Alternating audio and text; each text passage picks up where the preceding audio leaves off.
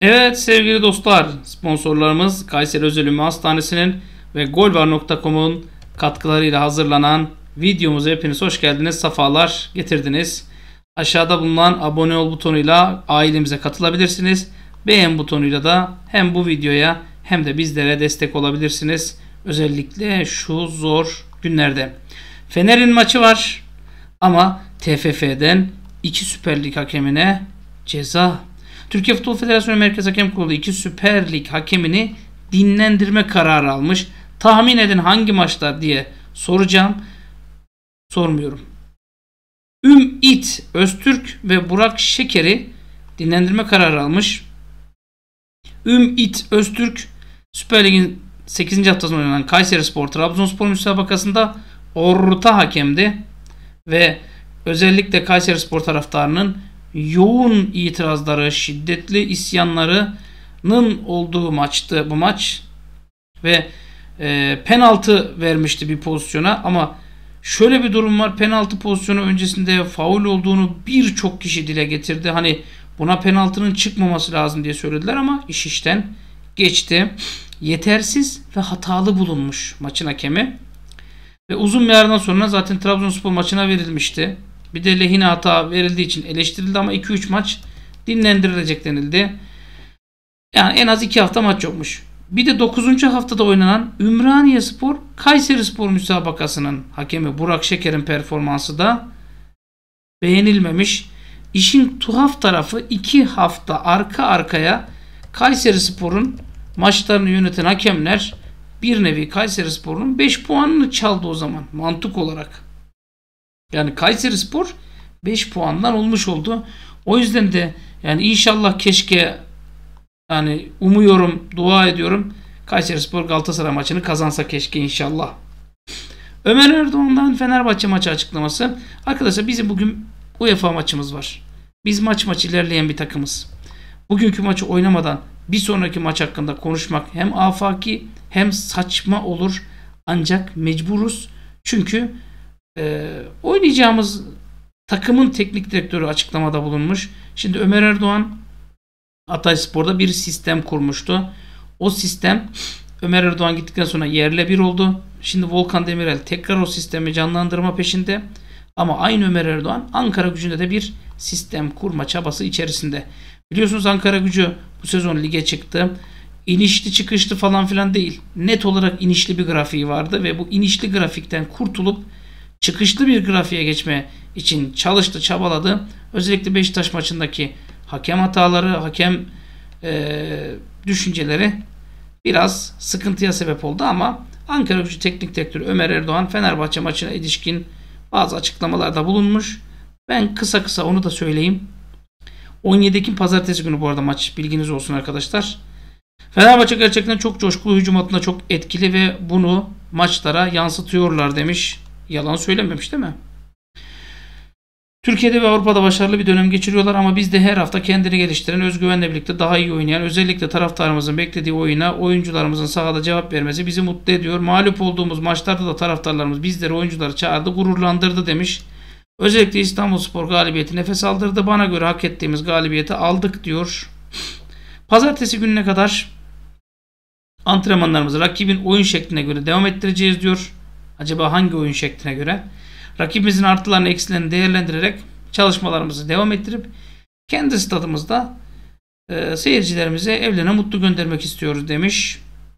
Eksik isimlerle ilgili konuşmuş Brezilyalı sol bek Marlon'un sakatlığı olduğunu ancak takımla birlikte çalışmalara başladığını söylemiş. İyi en azından sevindim yani sonra şu kadar eksiğimiz var demesin. Hani Jorge Jesus'un özellikle ön alan baskısı ve çok oyuncu ile hücum etmeye çalışan bir oyun anlayışı var demiş. Zaten bunu anlamak için teknik direktör olmaya gerek yok. Bunların getirdiği bazı zaaflar oluyor. Bu zaaflardan yararlanmak istiyoruz. Bu tür maçlarda sırf savunma yaparak istediğimiz sonuca ulaşamayız. Bizim de mecburen hücum futboluna cevap vermemiz gerekiyor. Doğru zamanda doğru yerde hücum yapmamız gerekiyor. Girdiğimiz pozisyonları inşallah diyor hani falan filan yani açıkçası biz kontra atak futbol oynayacağız diyor. Fenerbahçe yüklenecek. Biz de olabildiğince sahamızda karşılayıp o şekilde hücuma çıkacağız diyor arkadaşlar benim anladığım kadarıyla. Yani öyle söylüyor. Anladığım kadarıyla. transferlerle ilgili falan konuşuyor. Ben şunu söyleyeyim. Jesus benim tahminime göre Larnaka maçında üçlüye dönecek. Ankara gücü maçında yine üçlü oynatacak. Çünkü Fenerbahçe'nin deplasmanlarda üçlü oynaması, kendi evinde dörtlü oynaması hani benim zihin yapıma göre, benim futbol görüşüme göre mantıklı. Bir de ezber olarak yani bu adam çok fazla rotasyonu seven bir adam. Ezber olarak rotasyon üçlü savunmayla oynandığı zaman hiç sırıtmıyordu. Ama dörtlü savunmayla fazla rotasyon yapamıyorsun. Sebebi de belli. Sebebi de çok çok çok net belli arkadaşlar. Çünkü dörtlü savunmada çok fazla fire vermeye başladın. Hani onun yerine onu koyduğun zaman sırıttı. Ama üçlü savunmada sırıtmıyor. Niye? Savunma üçlüsü en azından sabit kalıyor. O sabit kalınca rakibe pozisyon vermiyorsun kolay kolay. Bekleyin görün. Tabii Fenerbahçe'den e, Jesus'la ilgili de flash bir açıklama geldi. Daha doğrusu haberlere yansıdı. Portekiz hocanın sözleşmesi sezon sonunda bitiyor deniliyor ama sözleşme uzatacağı haberleri medyaya yansıdı. Hatta 3 yıllık yeni sözleşme yapacak deniliyor. Fenerbahçe'nin zirve takibi sürüyor. Bir maçı bay geçse de 17 puanla liderin 1 puan gerisinde Fatih Karagümrük'ü 5-4 yense de taraftar coşmuş durumda. Yönetimde harekete geçmiş halde. Çünkü sezon başında bir yıllık sözleşme imzaladı ama transfer dedikoduları bir türlü son bulmuyor. Adı Brezilya milli takımıyla anılıyor, onunla anılıyor, bununla anılıyor ve taraftar da uzun yıllar kalmasını istiyor. Çünkü hem ezberleri bozdu hem de bir futbol devrimi yaptı diyor. Tabi adı Brezilya ile anılıyor. Ancak Fenerbahçe sözleşme uzatıp tek yetkili konumuna verecektir. Şu an öyle zaten. Yani astronomik bir bütçe oluşturulacak. 68 yaşındaki teknik adam futbolda tek yetkili olacak. Altyapıda Jesus'un kontrolüne girecek. Birçok ismi Fenerbahçe'ye sezon başında kazandırdı. Özellikle Brezilya ve Portekiz isimlere yoğunlaştı. Gelecek sezonda bu plana uygun hareket edecek diyor. Arkadaşlar Jesus benim bildiğim Jesus çok profesyonel bir adam. Hadi sözleşme yenileyelim ben çok iyi gidiyorum demez. Bakın öz eleştiri yapabilen bir adam. İnsanı zaten en büyük bataklığa ne sürükler? Öz eleştiri yapmamak. Yani ben müthişim ben süperim dersen bataklığa gittin hayırlı olsun.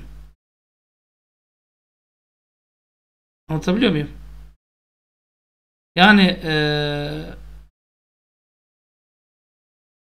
şunu da ısrarla, ısrarla söyleyeyim. Benim bildiğim Jesus kendi kendini eleştirir der ki sezon bitene kadar ben sözleşme uzatmam der. Görün bakın bakalım ne olacak arkadaşlar. Hep birlikte göreceğiz. Ama ben size şunu söyleyeyim. Ben zaten size Jesus'un ne kadarlık sözleşmesi olduğunu daha önce de söyledim.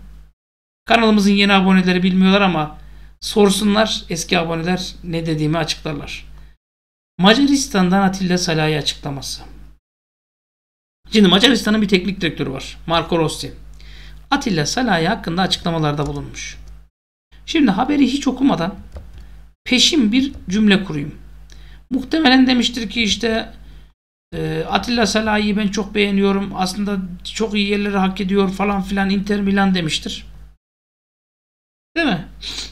Macaristan hakkında konuşmuş. Şans değil hak ettik falan filan. Atilla Salah'ın Fenerbahçe'de kalmasına şaşırdınız mı demişler. Ha tamam konuyu bulduk. Bu sürecin nasıl geliştiğini bilemem. Ben niye Sarı Selo gibi konuşuyorum? Muhtemelen kulüple birlikte alınan bir karardır. Gazetelerde onun İspanya, İngiltere ve Almanya gibi liglerden birine gideceği yazılıyordu.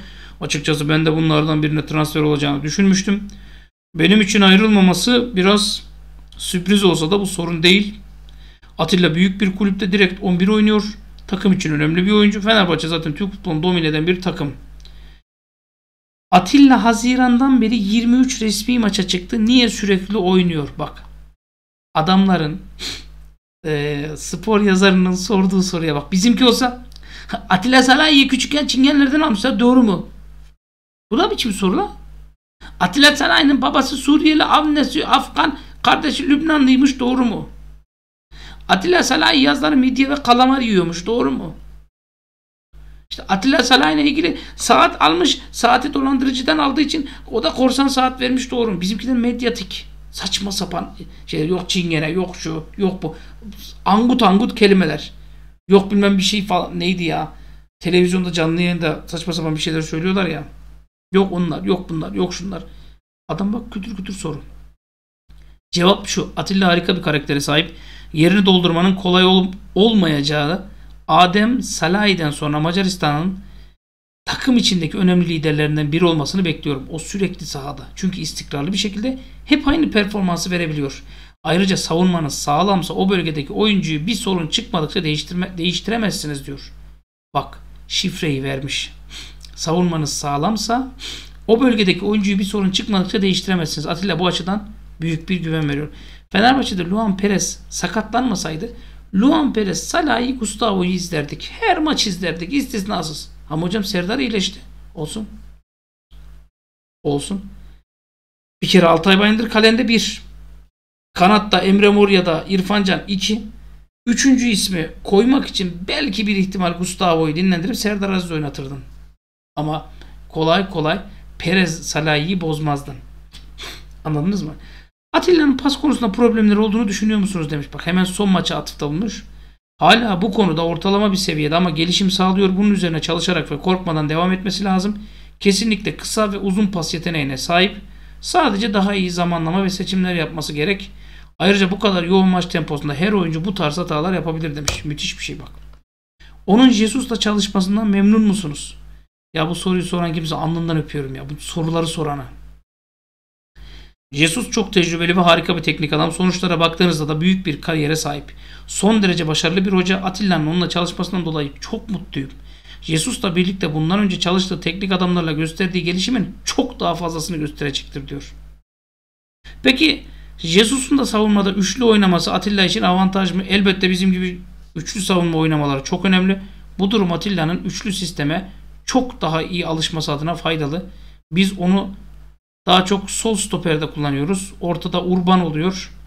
Urgan Radyo mu? Çünkü solda kendisini daha iyi hissediyor. Ancak elbette duruma göre defansın ortasında da oynar demiş. Fenerbahçe'yi bu sezon izlediniz mi? Soruya bak. Ulan en baş sorulması gereken soruyu en son sormuşsunuz. Ne yazık ki şu an için izleme fırsatım olmadı demiş. Çünkü kadroyu açıklamadan önce Atilla Salahi'nin sadece sakat olup olmadığına bakıyorum demiş gülerek. Yani ne olursa olsun ben onu al alacağım demiş. İtiraf etmeliyim ki onu çok fazla izlemiyor ve kulübündeki performansına da bakmıyorum. Hani bu vaktimi diğer oyunculara ayırıyorum. Çünkü Atilla'dan yana bir şüphemiz yok. Adam zaten az önce ne dedi? Hep aynı standardı veriyor dedi. İyi hep aynı standartta oynuyor zaten dedi. Ya. Türkiye'nin Euro 2024 grubu için yorumunuz nedir? Çok karışık bir grup. Hırvatistan liderliğe yakın taraf en azından günün sonunda kesin finallere katılırlar. Grupta ikincilik savaşı Türkiye ile Galler arasında geçer. Stefan Kuntz sonrası Türkiye'ye dışarıdan bakıldığında oyuncular daha fazla sorumluluk alıyor. Sen bakma dayı. Sen bakma. Sen bakma sen yanlış bakıyorsun. Eskiye göre daha iyiler ve birçoğu büyük liglerde oynuyor. Henüz tam takım olamadılar. Evet doğru. Ama daha kompakt ve organize oldukları kesin. Benim Galatasaraylı bir akrabam var iki gün önce konuşuyoruz. Diyor ki ya diyor Kerem Aktürkoğlu ve Yunus Akgün ikisini aynı anda sahaya süren her teknik direktör cahildir diyor. Bunlardan en fazla birini oynatırsın diyor. Adam haklı. Türk milli takımındaki de cahil diyor. Gidip ikisini bir oynatıyor. Galatasaray'daki de cahil diyor. Bunlardan en fazla birini oynatırsın sahada diyor. Haksız mı? Ya yani durum bu arkadaşlar. Ben milli takımda çok umutlu değilim ama şu Ermenistan maçını kazansınlar. iki maçtan 6 puan alsınlar. Gerisini kaybetsin. Hiç umurumda olmaz. Ama vallahi kimse kusura bakmasın. O Ermenistan maçları kazanılacak. Yani hiç ağzımı bozmadım. Ben bugüne kadar ömrü hayatımda hiç milli takıma ağzımı bozmadım ama o Ermenistan maçları kazanılacak. Ermenistan dünya şampiyonu diyelim. Türkiye dünya sonuncusu diyelim. Yine o maçlar kazanılacak. Kimse kusura bakmasın. Yani Azerbaycan'daki birçok kardeşimizin ahı var ahını alırsınız amana. Valencia'da Jesus detayı ortaya çıktı. Son haberimizde bu arkadaşlar. Şimdi Jesus sezon başında Valencia Fenerbahçe'den ayrılmak istiyordu. Hatta ben size ısrarla söyledim. Güzel teklifler var. 2,5 milyon euro veriyordu biri. Direkt. Ben olsam satardım şahsen. Harbi söylüyorum ben satardım abi. Ben satardım. Ama Jesus gitti Valencia'yı ikna etti. 10 golle zirvede. Allah nazardan sakındırsın. Sakın ha sakın gidip de profil resimlerinizi Valencia falan yapmayın. Valencia'ya edilen küfürler size geçer. O yüzden yapmayın. Ve bakın gözde görülür bir şekilde performans ortada. Yani koşan, mücadele eden, hücumda etkili olan e, çok iyi bir e, bir takım oluşturdu. Yani çok iyi bir takım oluşturdu. Şimdi e, transfer markete arada sırada girilmiyor. Şu an giremiyorum ben. Fenerbahçe'nin mesela şeyini çok merak ediyorum. Ha, şimdi girebildim. Bakın arkadaşlar. Hücumcu özellikler. Mesela Cao Pedro Rossi'den itibaren alayım. Bakın şimdi. Gol asist. Burada sanırım sadece şey söylüyor ya. Sadece gol mü söylüyor? Bir dakika bakayım. Atılan golü söylüyor. Sadece golü söylüyor. Rossi 1, Pedro 1, Batshuayi 3, İrfan 4, King 3. Burman zaten golü asist yok. Berisha 1, Serdar Dursun 2, Emre Mor 2, Valencia 11. Sadece goller arkadaşlar. Sadece goller. Bakın. Asıl Fenerbahçe'nin 4 forvet ekip Batshuayi 1 değil mi? Valencia 2 Serdar Dursun 3 Valencia şey Valencia Serdar Dursun Batshuayi hani dördüncü forvet Cao Pedro der misiniz? Genelde yardımcı forvet oynuyor. King der misin? O da yardımcı forvet oynuyor. Başka Berisha zaten gitti. E, Emre Mor yardımcı forvet diye hemen kanat oynuyor. Rossi kanat oynuyor. Yani üç tane az, iki tane yani üç tane forvet, iki tane de forvet arkası var. Beş kişinin performansına bakalım. Hani bir Rossi'ye bakacak olsam bir sürü gol asisti var. Pedro 1, Batshuayi 2, King 3, Serdar Dursun 4, Valencia 5. Bakın arkadaşlar. Pedro 1 gol 1 asist. 2 total katkı. Batshuayi 3 gol etti sana 5. Joshua King e, 3'e 1 4 de buradan 9. Serdar Dursun 4 de ondan 13. 13 Valencia Valencia'da 13 tane katkıda ondan 26. Bakın 4 tanesine bedel Valencia. 5 isimden 26 gol katkısı. Şu kadar süreçte. Yani belki de yolun dörtte biri. Dörtte birinde 26 gol katkısı. Sizi tatmin eder mi? Daha bak işin içine Valencia şeyi Rossi'yi falan katmadım. Yani İrfan'ı katmadım bir. Rossi'yi katmadım iki. Hani e, Emre Mor'u katmadım üç. Başka kim oynar? Mesela Lincoln kanatta oynuyor değil mi? Hani Lincoln'u da kat. Bak şimdi İrfan'ı kattım. 4 gol 1 asist 5. Rossi'yi kattım. 1 gol 7 asist 8 yani 8 tane buradan etti sana 13. 2 futbolcu da 13'ü buldun. Emre Mor'da 2 gol 15. Lincoln Enrique'de 6 asist olması lazım. 6 asist 2 gol. 15, 21, 23. 4 futbolcunun da 23 gol katkısı. Zaten biz Jesus'tan bunu bekliyorduk. Bu da olmuş oldu. Yani Fenerbahçe kütürük eriği gibi giderken Enner Valencia gol kralı. Ee, Ali Koç yani mesela İsmail Kartal döneminde fazla forma şansı bulamadı. Ali Koç menajerini çağırdı dedi ki yeni hocayla bir görüş dedi. Israrlı bir şekilde Jesus kalsın dedi. Ve hazırlık dönemindeki performansı şu bu müthişti. Yani hem futbolcuyu ikna etti hem de Fenerbahçe bir golcü kazandı. İyi de hocam hem Batshuayi aldın hem Pedro aldın hem King aldın al. Adam diyor ki ben her türlü futbolcu oynatacağım diyor. Sizin arkadaş diyor. Tek başına Galatasaray'dan fazla gol attı. Ben Valencia ile ilgili de bir şey söyleyeyim. Jesus'la, Atilla Salah ile ve Valencia ile ilgili üçüyle ilgili de bir şey söyleyeyim. Siz Jesus'u 3 yıl uzatmış gibi düşünün. Yani onu söyleyeyim bir. Atilla Salah'ı ben Salah'ın seneye Fenerbahçe'de kalacağını asla zannetmiyorum. 2. Valencia konusunda da biraz beklemeniz lazım. Ona göre duyum vereceğim. Bu arada arkadaşlar Ahmet Ercanlar Arda Güler Larnaka maçında 11'de demiş. Umarım. Fenerbahçe Scout şefi Şenol Çorlu'ya Hull City'nin bir ilgisi varmış. Ancak henüz somutlaşmış bir adım yokmuş. Bilginiz olsun arkadaşlar. Galatasaray ilk 6 aylık dönemde 543.9 milyon TL zarar ettiğini açıklamış. Bu da benim dünkü videomun tam yerinde zamanında çekilmiş bir video olduğunu gösteriyor. Açın bakın bakalım dünkü 10.30'daki videoya neler açıklamışım. Ee, bunu da söyledik. Valencia ile inşallah arkadaşlar milli arada olabilir, devre arasında olabilir, sözleşme uzatılacak diye tahmin ediyorum. Şimdilik bu kadar söylüyorum. Dediğim gibi arkadaşlar bir beğeniyi çok görmezseniz çok ama çok sevinirim. Kendinize iyi bakın. Allah'a emanet olun. Görüşmek üzere.